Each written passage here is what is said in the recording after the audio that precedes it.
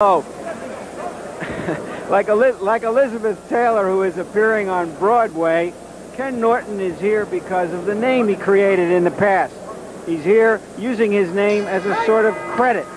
And Gerry Cooney, likewise, is here to use his name also as a credit on his record, on the record of Gerry Cooney. It would look nice to beat a Ken Norton. But can he beat a Ken Norton? Let's take a look something at something at Ken Norton's past. It's an interesting past. He got a reputation primarily for losing most fights to great fighters with one very notable exception. It was like slaying a giant. Few fighters of that time even dreamed about beating Muhammad Ali. But in 1973, a young, relatively unknown Ken Norton found himself face to face with that legend. Norton, once a sparring partner with the only other man to have beaten Ali, Joe Frazier, broke Ali's jaw early in the fight, and he dominated him from start to finish. Seven points, Norton, five points, Ali. I'm totally elation. Just totally elation. I was, uh, I did the so-called impossible. I was 8 to 1 underdog. I, I, I toppled the world, the boxing world. I, I changed everything around completely. Which is the same situation I'm in now. I'm, I'm an underdog. I'm supposed to be too old. I'm supposed to be out of shape. I'm supposed to be uh, a bit too slow. And uh, I haven't fought but once in the last two years. Whatever motivates him, money or pride, Norton is preparing for his 51st fight. It is both a successful and disappointing past that drives him on. Heavyweight championship of the world. After losing a rematch with Ali, Norton had his first oh, championship good, bout good against right George Foreman. The, the powerful Foreman brought him to a humiliating defeat in two rounds, exposing a serious chink in his armor. Norton goes down again. A left hand on the side of the head. His legs are rubbery as the left hand goes to the side of his head. A right uppercut, a left jab, and a vicious left sends Norton crumbling to the canvas. The knockout stopped Norton only temporarily. While Hollywood was making his near-perfect body a sex symbol, he was preparing for a third match with Muhammad Ali. He beat Jerry Quarry on the way to his real goal, the championship.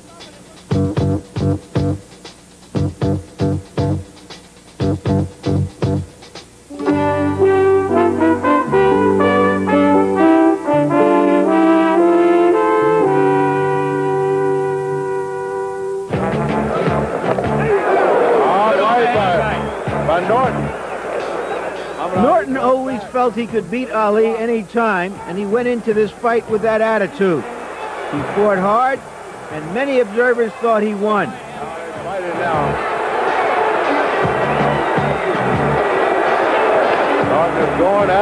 So much into it.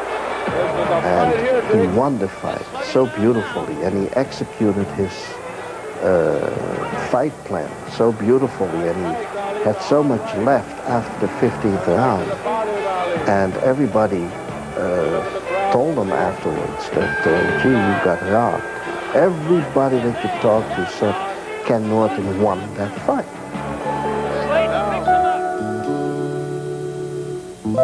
If you put all that effort to work, that supernatural effort, and then you win a fight against an opponent who's supposed to be the greatest of all times, and then they don't give you the decision, that is a big disappointment. It was like somebody stuck their hand inside Kenny's chest and ripped his heart out. It just didn't work. From that point on, my career, my career went on a tailspin. I was, each fight was increasingly worse than the one before. I didn't train as hard. I didn't do anything as hard. And uh, I started going through the motions. Back to the drawing board and the speed bag. With Muhammad Ali coming to the end of his reign, anybody might still become the next heavyweight champion. When Leon Spinks and Ali fought a rematch, the WBC vacated the title. And Norton, with Ali taunting him from the crowd, beat Jimmy Young and later was declared the champion. 15th round of the World Heavyweight title. But Norton's first opponent was the unbeaten Larry Holmes. A close 15-round fight that many have called one of the best heavyweight championship fights ever ended in another disappointment for Norton. As Holmes comes back, throws a big shot. He gets into trouble. Yes. 143, 142 for the new Larry Holmes has done it. Norton had lost another championship fight, but barely. He has fought the best of them and fought them well. Ken's used to a lot of pressure. He's used to tough fighters that he's fought, you know, which Cooney hasn't really faced any real tough guys, you know. And Ken will be one of the toughest tests he's had. Cooney's another fighter who's undefeated and supposedly a good left hand who's not, who really hasn't done anything to impress me that much. After a 15-month layoff, Norton defeated an inexperienced but strong young fighter, Randy Cobb, and he's been in training ever since. I think I have more experience. I think I'm stronger. I think I'm as quick, if not quicker. I think I'm more intelligent. And uh, basically, I think I'm a better fighter. I'm in shape. And exactly four years ago tonight, this is what he did to another bright prospect. About Gerry Cooney? To be sure, he is inexperienced. He has never fought more than eight rounds. He has fought only 86 total rounds in his professional career. They say he is a one-handed fighter. They say they don't know if he can take a punch. Well, whether or not he can take a punch, one thing is absolute. He can throw a punch. Six months ago, Gerry Cooney fought Ron Lyle in Long Island's Nassau Coliseum. The fight lasted 2 minutes and 49 seconds. Cheering lasted 20 minutes.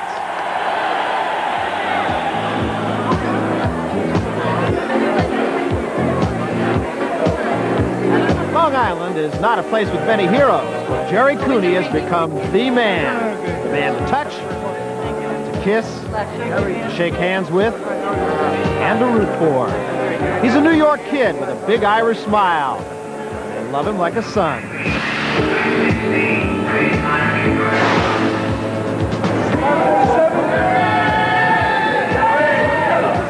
Like them, he commutes to work in New York City on the Long Island Railroad. And someday, probably soon, he's going to make it big.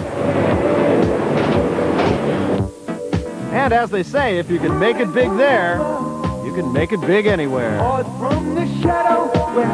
There's no place like home. And New York is home to Gerry Cooney.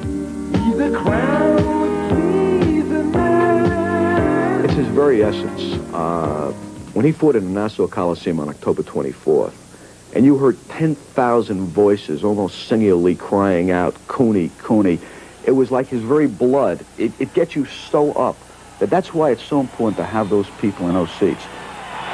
Cooney started as an amateur at the Garden, winning the Golden Gloves in 1973 and 1976. It was a great feeling. I was 16 years old, and I came out and fought in front of 21,000 people and was successful and knocked the guy out in the third round. So, yeah, it was a great moment for me. One of my great moments in the Garden. And as a professional, he fought in front of Garden crowds a dozen times, getting his first starring role as the main event against Dino Dennis in a dramatic display of his punching power.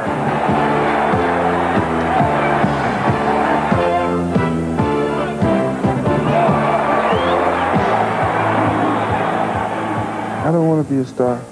I want to be a successful prize fighter. His regular gym is Bobby Gleason's, where Jake LaMotta trained. But this past week, the Garden has become his gym. He has a devastating punch, which has cost him a lot of sparring partners. And he has a trainer, Victor Valle, to whom he is totally devoted. They used to see all the fighters. He said, Jesus, this guy's good, this guy's that. He said, Gerry, one of this day, you're going to be number one in, the, in this gym. And number one he was. Then I told him, you're going to be number one in the well. He's number one now in the well. And now I'm tell Gerry now that I'm going to make Gerry champion of the well. There are doubters, however, who question his stamina, his inexperience, his ability to take a punch, and his one-handedness. One of the knocks, of course, is that he has no right hand. I mean, I wouldn't be surprised if he knocked Ken Norton out with a right hand. I mean, Gerry, his left is, is, is so devastating that, of course, all the attention has been focused on that. His right hand is dynamite. But the left was the weapon that stopped Leroy Boone in the sixth round in Atlantic City in December of last year. Against Jimmy Young, the right hand had a short debut, but the left dominated. The fight was stopped after four rounds because of a bad cut on Young's face. And it was after only 2 minutes 49 seconds that veteran Ron Lyle was stopped with a vicious left hook to the ribs.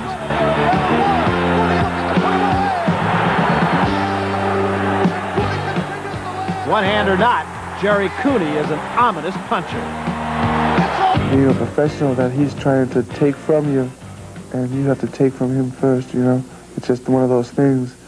Um, you have to get him before he gets you. It's similar to being a gladiator, I suppose. But the Gladiator is a friendly New York kid who just wants to stay that way. I don't want to be any different than anybody else. And uh, I just go and do my work. That's all that's important to me. But for Gerry Cooney, it may be too late for that. This is called Cooney Country. And so far, he is the king of the land.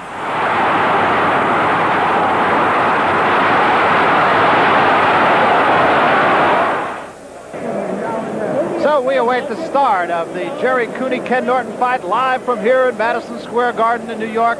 Larry Merchant, you made a point at the top of the show where you talked about the fact that Ken Norton historically has had problems with bangers, and that certainly is what he's got tonight. Well, everybody has to remember the fights against George Foreman in particular because he was a young, very live heavyweight at that time, and he just sort of crumbled in front of George Foreman, went to the ropes, and Foreman uh, just wore him down, destroyed him in the second round. And later against Ernie Shavers, in that period of time after he lost to Holmes, and in which he said that he wasn't taking much interest in boxing anymore, again, Shavers, a great banger, put him against the ropes and destroyed him in one round. And you look at Ken Norton leaving his locker room now, heading down toward the ring, a very stern look on his face. One might even call the look that we see right here even more than stern, perhaps concerned. Yeah, I think it's a look of reality. Waiting to get the ring get job done. So Ken Norton starting to make his way into the ring. Norton sweating profusely, and Ray, you've made the point before that's very important that a fighter get warm in the locker room. Yes, Barry. A fighter must loosen up very well because a lot of fighters start off early and they're not loosened up enough, and the body reacts very differently. Let me ask you another hypothetical question, Ray. If you're Ken Norton, how do you fight this fight? Norton said in the Larry Holmes fight that he made a mistake in letting Holmes win the first few rounds. Now he's in a position where, in all honesty, I'm sure even he doesn't know if he can go the 10 rounds. So he may have to go out and get him early. Well, he must go out and do damage early. I think he can intimidate Gerry Cooney. Cooney's young. Cooney never really been in with a guy like Ken Norton. And Ken Norton really has enough to get Cooney out of there, but you never can tell. The criticism of Cooney, of course, if any criticism, it's hard to criticize a guy who's won 24 fights and knocked out 20 of his opponents, as you look at Ken Norton. Norton is a man right now in Never Never Land. He has got to go out and get this fighter. I think it's safe to say that it's just about over. But, but I know, you know, in a way, there's a much greater risk on the part of Gerry Cooney. Uh, he's making a million dollars here, so whatever happens, you can't, you can't run any benefits for him. But on the other hand, he has big money purses already awaiting him as the number one contender. And unless he takes out Norton quickly, they're going to say he's just not the prospect that everybody thought he was. Well, as you see Cooney leave the locker room and head toward the ring himself, you look at his record, 24 wins, no losses. He has 20 knockouts, not the 14 that you just saw there. Cooney is a guy who unquestionably can punch. As a matter of fact, of those 20 knockouts, 10 of them have come inside of two rounds. So I think the first two rounds are going to be interesting here to see who dictates the pace of the fight. His average fight has gone about three and a half rounds. Stamina shouldn't be a problem for him here, even though he's never gone more than eight rounds. This is only a 10-round fight. He's not fighting a fighter who's going to run a great deal from him. It's not a 15-round fight. In that case, you would seriously wonder how he would react in the late rounds.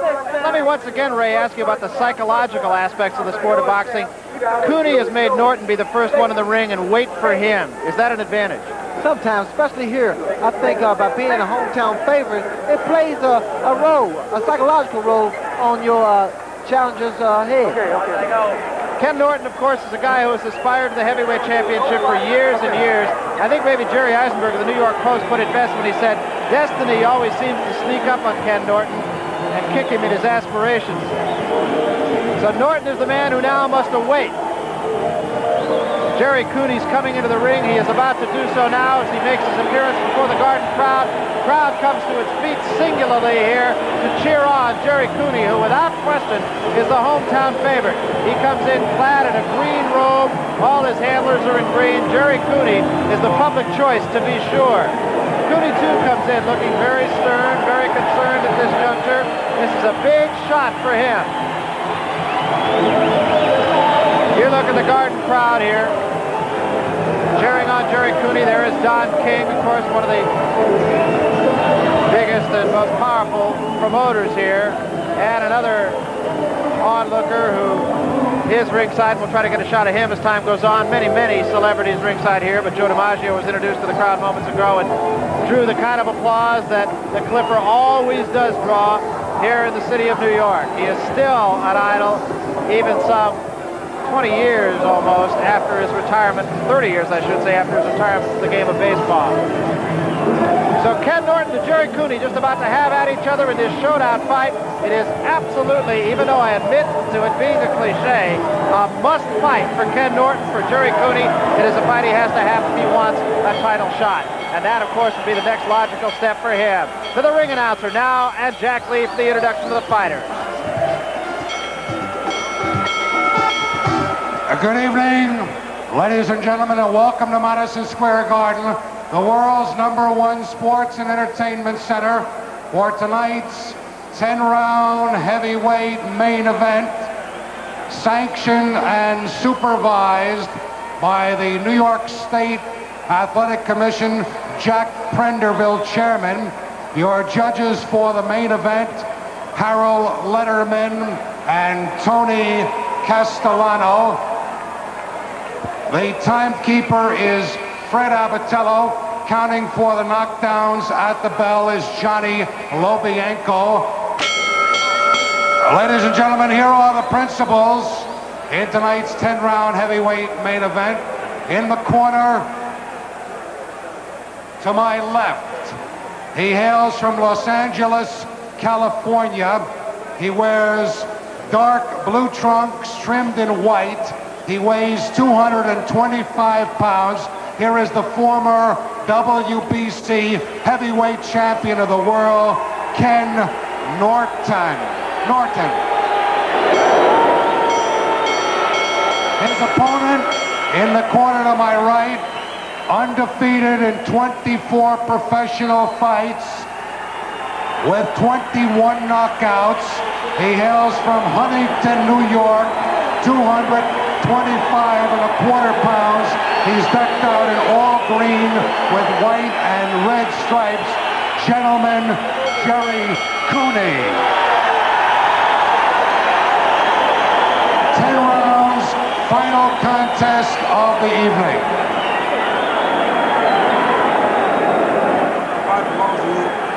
The most important thing, my command break, stop pushing and stop back. If you score a knockdown, I want you to go to the farthest neutral corner, stay there until I tell you to come out. Right, three knockdowns in one round will end the fight. Now 40 seconds. The bell will not save anybody from being knocked out, all right? If a fight is on the floor, please don't come in. That calls for disqualification. I hate to do that. So stay away. Wait till the fighter gets up, then you can help him, all right? Any questions? Shake hands. Good luck to both of you. Well, Ray Norton in his introduction borrowing a little something from the Sugar Ray Leonard playbook and doing a little dance and a series of jabs as you look at the tale of the tape. Norton, 11 years the senior of Gerry Cooney, 6'6 to 6'3, big height advantage. The weight is just about comparable. So is the reach and all the other measurements. Round one underway. Norton on the right, Cooney on the left. The tactics of Ken Norton in the early rounds will be interesting to say the least. Whether he decides to pace himself, whether he decides to go after the number one challenger. 10 rounds, three knockdown rule is in effect. The bell cannot save either man. A right hand buckle the knees of Norton by Gerry Cooney. First punch of the fight buckled Norton's knees. Left hand to the stomach, and another right hand to the side of the head of Norton, who stands on the ropes. Left hand to the heart by Cooney. Norton bangs away now at Cooney in Norton's corner. And another left hand scores, and again, the legs of Norton wobble. Norton is hurt in his own corner. Cooney trying to measure him. Misses two uppercuts, but scores with combinations of left stance. going straight up. Norton is about to drop. Norton is on his knees and finally slumps in the corner. He is not going to get up from this. The fight is over in 54 seconds. And if there was ever any doubt as to the punching power of Gerry Cooney, Ray Leonard, I think that doubt was put to bed right here. Right. Cooney went out and did pretty much what I expected, but that was very dangerous when he was able to deliver it five, six blows, and the referee just stood there. I think the referee should have stopped the fight a lot sooner. Norton was almost in a position where he was unable to fall down. He was kind of in a lodged position in his own corner. His knees never did touch, and so Cooney, of course, doing the right thing by just continuing to punch, but I think you make a very good point in that Tony Perez may have considered stepping in a little bit sooner than he did. Norton was out on his feet. Norton is still on the floor in his own corner. The first punch that hurt was the first punch of the fight, and it was a right hand that caught Ray or Ken Norton right on the side of the head. Well, I was going to make a comment earlier about uh, Gerry Cooney not having any perspiration on his body, that he had not warmed up. But as we can see, uh, he didn't need to warm up because he possessed so much strength. And I'm pretty sure this is going to silence a lot of the critics that Cooney has one hand. Well, I don't think there was any question about it. Right from the start of the fight, Cooney hurt Norton with the first punch. Now, I don't know. You may have to go back and you say, was Norton really prepared for this fight? Because the first punch of the fight buckled his knees. Well, I'm quite sure Ken Norton was prepared for the fight. In fact, he's been in the ring with some of the all-time greats, and he knows what happens when you get into the ring unprepared. Ken Norton was in tip-top shape, and I'm quite sure he will give Cooney credit. Now, you and I have had a chance to watch some of the great heavyweights. We've watched Larry Holmes together. Just off the top of your head, how would you compare Gerry Cooney right now with a Larry Holmes? Well, Larry Holmes still has so much more uh, physical attributes. Holmes can move, Holmes can punch, Holmes has a good jab.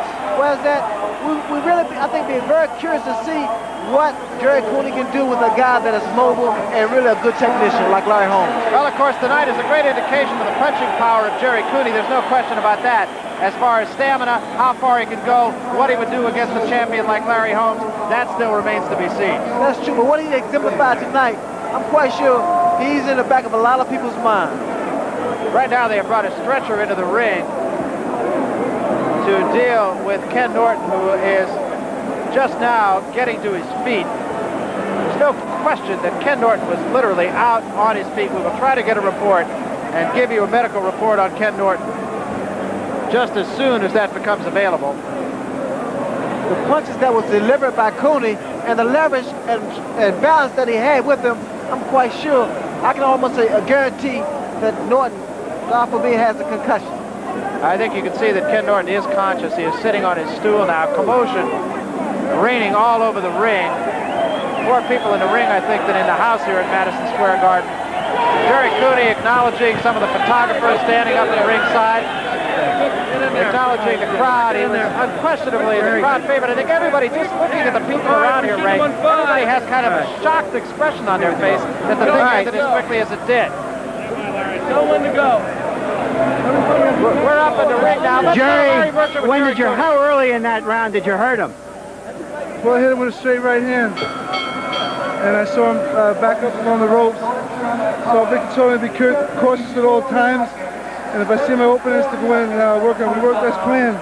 Victor was training for five, well, for I don't know how long up in the Concord and New York here training and told me the right thing. Do you, do you feel in some way, Gerry, that the quickness of this fight, excuse me, robs you in some way? That people will say that Ken Norton just couldn't fight anymore? Doesn't matter to me anymore. I have my people here, um, my fans. We train hard. Mike Jones, Dennis Rappaport, Victor Valle, and myself. All right, we just love him, that's all. All right, what is next? Is Mike Weaver next for the WBA championship? Uh, left to my managers, Mike Jones and Dennis Rappaport and, and uh, All right, Valle. Mike Jones here is nodding and saying that Mike Weaver will be your next opponent for the heavyweight championship. Would you explain to our audience why Mike Weaver instead of Larry Holmes? Well, since I turned professional, I just do the fighting. my managers do the managing. My, my man here, Vic, does, gets me in shape. I just leave it that way. Well, they must be doing a perfect job so far. Dennis Rappaport, would you tell us why is he fighting Mike Weaver instead of Larry Holmes? We really didn't have a choice. Our first preference would have been Holmes. Holmes has refused to fight Cooney, in spite of what he said to the media, where he verbalizes one thing, but in fact and in truth, when it came time to sign a contract, he refused to, he, they never signed. Kid was supposed to get back to us three months ago. Me and Mike called him several times, never got back to us. After a meeting where we were supposed to sign a contract. Are you concerned that the critics will say, well, he's beaten another fighter of the 70s, He's now going a total of about four or five rounds with fighters from the 70s, but he hasn't fought a good young fighter yet. Larry, if, if, at the end of Gerry's career, he never goes more than two rounds. Thank the Lord, and we'll be very happy. It'll prove that he's the greatest fighter of all time. Let, them, let the cynics ask the same questions when he's heavyweight champion of the world, because that's his destiny, the championship of the world. Thank you very much. I'll be back in a few moments. I'm going to try to reach Ken Norton back to ringside. All right, thank you very much, Larry Merchant. Larry is now working his way through some of the crowd to try to get to Ken Norton's corner. We will try to have a report just on what kind of condition Norton is in. If it is at all possible, we will try to get an interview with the loser. We right now are going to have an opportunity to look at the entire, when I say entire, I mean 54 seconds of this fight. There was just never a doubt about the outcome of the fight from the first punch that was thrown by Gerry Cooney, which was a right hand lead. You heard him talk to Larry Merchant about it as it being a straight right hand. When it happened, I believe we said that the knees of Ken Norton buckled. And now let's take one more look. Ray Leonard, we're going to get a chance to see from the beginning of this fight right to the end of it, 54 seconds long. They started in the center of the ring, and you can see Norton really not going to that peekaboo kind of defense. In the early round. Well, Norton tried to uh, see whether or not his left jab could do any damage to Cooney. And this is a very fast pace especially for heavyweights. Now the right hand from Cooney will come right there. The right hand, and you see the knees of Norton buckle just that quick. Great shot. Well, Cooney possessed so much strength, so much power in his left hand and his right hand, as we see. And here he's just taking control of Ken Norton completely. Now, right at that juncture, I think you saw that Ken Norton was a beaten man. He did all he could just to get off the ropes. But again, just a stinging left hand to the face right there. Now Cooney turns Norton around, and once he does that, he misses those two uppercuts. I think it was the last punch he missed. Well, Barry, here we see a lot of punches being thrown, and right here, I think the fight, the referee should have jumped in. Look at the punches that are being thrown and landed.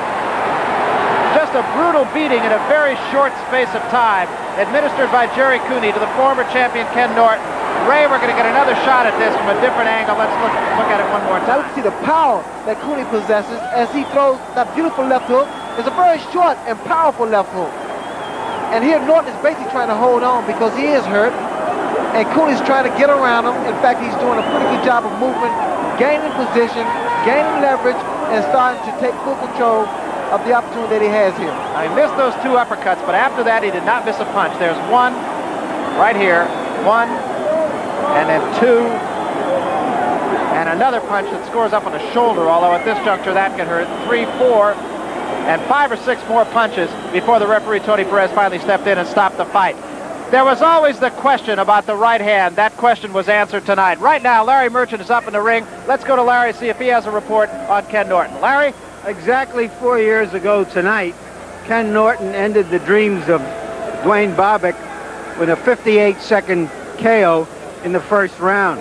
I was here at the time and I was thankful that I wasn't getting paid by the round. Here tonight, he lasted about twice as long, and that's all. This fight has been star-crossed from the very beginning when it was originally scheduled for a big MAPS promotion here at the Garden. It came back, and the only people who have been hurt worse than Ken Norton tonight have been Madison Square Garden's promoters because the fight only drew about seven or 8,000 people the two fighters were promised a total of almost $2 million. There was nowhere near that here in the Garden tonight. Estimates that they may have lost up to a million dollars. Now the heavyweight division stands something sort of like this. Larry Holmes is acknowledged and recognized, and rightly so, as the best heavyweight in the world. Right behind him, Mike Weaver, who is a WBA champion, and Gerry Cooney, who is the number one ranked challenger and two very promising youngsters right behind them, Mike Dokes and Greg Page, both unbeaten, both highly talented. I doubt, however, that Gerry Cooney is going to come out of this fight unscathed. He still hasn't beaten a live young fighter. Now we're going to go back to ringside with Ray and Barry. Okay, thank you, Larry Merchant. Well, point well taken. The Garden did come out probably the biggest loser. Unquestionably, the biggest winner was Gerry Cooney. Ken Norton had said long ago, actually before he went into his 15-month retirement, that after the Muhammad Ali fight at Yankee Stadium, he was never the same fighter again. He lost the fight in that case that he thought he won. It went 15 rounds, and Norton fought a great fight, went right down to the final round before he lost it. He said, I never trained so hard again. He said, I never could put the same kind of drive, the same kind of feeling into it. I have never been the same fighter ever since. I think that was clearly evident tonight. Ray, I would think that at this point, were you to be Ken Norton, you would have to say, it's been a great business, and now let's think about the movies. I'm quite sure Ken Norton, he knows fully well now that uh, his career here in the ring has ended, and uh, he's smart enough man to know that. Your body, it tells you, uh, sends you messages in very mysterious ways, and I'm quite sure Ken Norton has received that message. All right, we're going to get an opportunity to see that punch once again. The punch that really did the damage was the very first punch of the fight. It was a straight right hand. They started in the middle of the ring. Actually, Norton doing a lot of bobbing and weaving and up and down kind of motion rather than the kind of peekaboo style that had become his trademark defensively. Here's another look at it. Larry Merchant has joined us ringside now. Larry, let's talk about your evaluation of it. That first right hand really was all she wrote. Well, we've talked about this all night long. That Ken Norton's problems are early in fights. If he gets past the first few rounds, his confidence grows. But there he was caught by the right hand, and his knees buckled, and he goes to the ropes. Again, characteristically, he did that against George Foreman. He did that against Ernie Shavers. He's doing that against a smart and very strong young fighter here, and he just can't handle it. The left hand right there was the finisher, I believe. He got stunned earlier, and there he is, and he just got pinned against the bottom strand of the rope, and he was sitting there somehow uh, subconsciously just trying to stay upright by sitting on that bottom strand, but just taking more and more punishment. He was dazed and helpless. Uh, he's all right now. We were in the corner. The doctors didn't want him to do any talking, but he said he was all right. He didn't know what happened and what